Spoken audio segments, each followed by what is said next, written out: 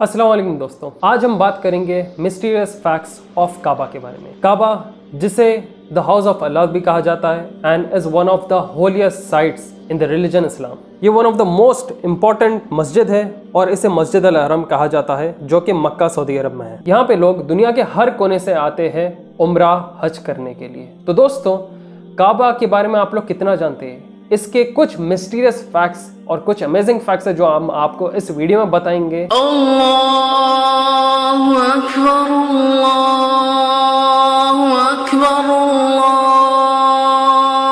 अकबर। ला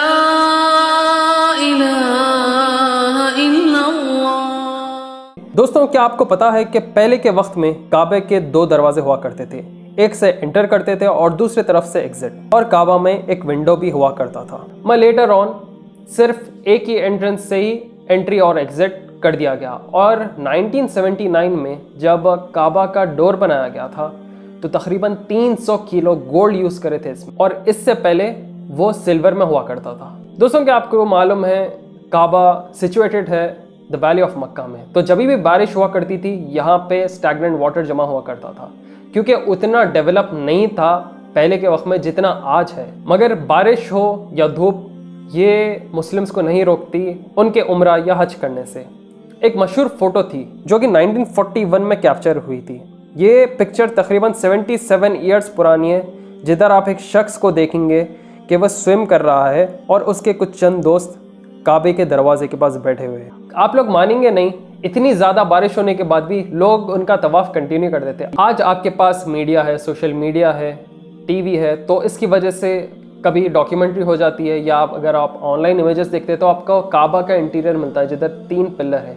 मगर पहले के ज़माने में लोग सोचते थे कि काबा अंदर से दिखता कैसा इसके अंदर क्या चीज़ें हैं? चंद नॉन बिलीवर्स तो ये भी बोलते थे कि काबे के अंदर आइडल्स रखे हुए और इन काबे के अंदर आइडल्स रखते हुए मुसलमान तवाफ कर रहे हैं या उनकी इबादत कर रहे हैं। तो लेटर ऑन मीडिया की मदद से काबे के अंदर का फ़िल्म पिक्चर्स लिए और यही पूरे दुनिया में फैले कि अंदर से काबतुल्ला दिखता कैसा है। तो देखो, बहुत ज़माने पहले से ही ना, कुछ ना कुछ अफवाह खिलाफ फैलाते ही रहते ये लोग। दोस्तों, क्या आपको पता है कि काबतुल्ला की चाबी जो है, वो बहुत ही स्पेशल है? और ये सऊदी गवर्नमेंट के साथ नहीं है, ये एक स्पेशल फैमिली के साथ है, जो कि प्रॉफिट मोहम्मद वसल्लम के दौर से यही कैरी करते हुए आ रहे हैं। आप देख सकते हैं और जब भी वी या डेलीगेट्स आते हैं काबतुल्ला के अंदर जाने के लिए तो यही फैमिली के हेड आते हैं, चाबी लेकर और ओपन करते हैं। उसके बाद लोग इनमें एंट्री करते हैं और एग्जिट करने के बाद काबतुल्ला के डोर को लॉक करके ये चाबी वापस संभाल के रखते हैं। और दोस्तों, क्या आप लोग को पता है कि जिस प्लेस पे काबतुल्ला सिचुएटेड है। वहीं ऊपर सेवन स्काइज के ऊपर एक और एक काबतुल्ला है और उसका नाम है बैत अल मामूर। इसके पीछे कई सारे हदीस और वाक़े हैं। अगर आप चाहे तो इन्हें पढ़ सकते हो हदीस की किताब में। और दोस्तों, क्या आप लोग को पता है कि ओरिजिनल शेप काबतुल्ला का रेक्टेंगुलर था, मगर लेटर ऑन इसके ऊपर ढेर सारे रेनोवेशन होते गए time to time time to time और इसका शेप स्क्वायर में हुआ। एक स्पेशल बात काबतुल्ला की कि इसके एक कॉर्नर में एक ब्लैक स्टोन लगा हुआ है और कहा जाता है कि ये स्पेशल स्टोन पैराडाइज से आया था। और ये भी कहा जाता है कि ये जिसको आज आप हजर असवद कहते हैं, ये दूध से ज़्यादा सफ़ेद था, मगर लोगों के सिंस ये कंज्यूम करते करते ब्लैक हो गया है। और दोस्तों, क्या आपको पता है कि ये स्टोन को चुराया भी गया था? पर्शियंस इन्वेट किए थे। ढेर सारे हाजियों को शहीद करे थे, जमजम के वेल में डाल दिए थे। और लेटर ऑन ये लोग अपने शहर को लेके गए ऐसे और इराक में से छुपा कर इसके लिए रैनसम पूछ रहे थे। फिर बाद में अब्बासिड कैलिफेट इसे वापस लिए और जब वो ये ब्लैक स्टोन को वापस लिए थे, ये चोरों से तो इसके कई टुकड़े हो गए थे। कहा जाता है इसके कम अज़ कम तीन टुकड़े हुए थे और इसे ज्वाइन करने के लिए स्पेशल मेटल को गला के इसे जुड़ाया गया था और कहा जाता है, अभी भी उस स्टोन में से कुछ चंद पीसेस मिसिंग है। क्योंकि वो लोग उसे ब्रेक करे तो एक तरीके से चुरा चुरा हो गया था। मगर स्टिल डिबेटेबल बाज़ लोग बोलते नहीं भाई, वो पत्थर को कभी तोड़ा नहीं जा सकता, कभी मगर ऐसा हिस्ट्री में हुआ था कि उसे चुरा के लेके गए थे। तो दोस्तों, इतने सारे फैक्ट्स है हमारे इस वीडियो को लेकर। आप लोग क्या ज़्यादा मिस्टीरियस अनसॉल्व मिस्ट्रीज में भी इंटरेस्ट रखते हैं? मिस्टीरियस फैक्ट्स में भी रखते हैं? तो मैं आपको एक ऑडियो बुक रेकमेंड करूँगा, जिसका नाम है अनसॉल्व मिस्ट्रीज ऑफ़ इंडिया इस बुक में ढेर सारे अनसॉल्व मिस्ट्रीज है इंडिया के, और ये ऑडियो बुक आपको अवेलेबल मिलेगी कुको एफ़ पे।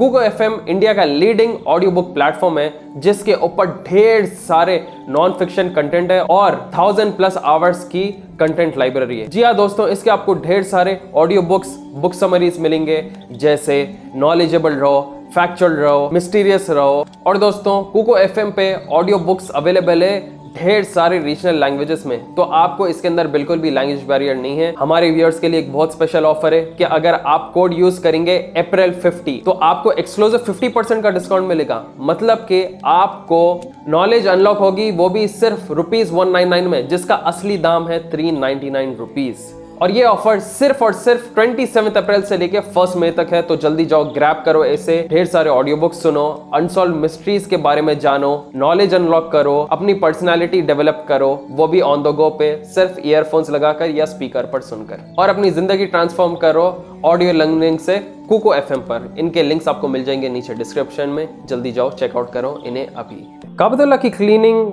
कम से कम दो बार होती है साल में। और ये सेरेमनी क्लीनिंग की अकर होती है, तीस दिन पहले हद से और तीस दिन पहले रमज़ान से। काबतुल्ला के ऊपर जो क्लॉथ है, उसे खिस्वा कहते हैं। आप लोग तो ब्लैक और गोल्डन में क्लॉथ देखेंगे मगर इससे पहले ये ढेर सारे कलर्स में हुआ करता था, जैसे ग्रीन, रेड और वाइट। आज के वक्त में खिसवा प्योर सिल्क से बनाया गया है और इसके ऊपर Quranic verses pure gold thread में लिखे जाते हैं। कम अज कम ये खसवा का क्लॉथ कहा जाता है कि सिक्स मिलियन डॉलर्स तक का कॉस्ट करता है। और इसके ऊपर खुरानिक वर्सेस सीने के लिए स्पेशल लोग हैं।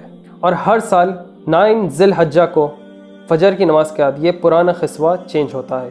पहले के वक्त में काबा का दरवाज़ा दो बार खुला जाता था दिन में। मगर सिंस इतना ज़्यादा पॉपुलेट हो गया एरिया तो स्पेशल वी या डेलीगेट्स आने के बाद ही इस दरवाजे को खोला जाता है। और क्या आपने गौर किया कि कभी काबतुल्ला के ऊपर प्लेन्स ट्रैवल नहीं करते?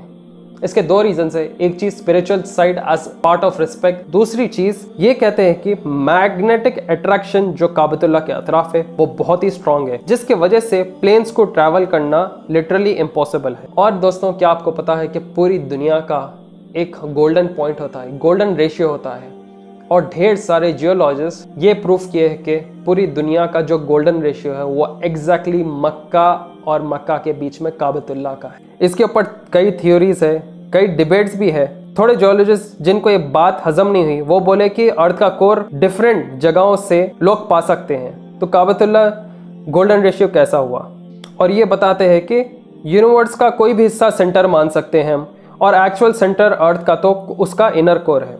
तो मतलब जब आपका दीन या आपकी कोई स्पेशल स्पिरिचुअल साइट प्रूफ कर देती है तो ये लोग का हजम नहीं होता। तो दोस्तों, ये थे कुछ चंद mysterious, amazing facts of Kaaba. और चंद ऐसे भी है जिसमें काबतुल्ला अटैक हुआ था।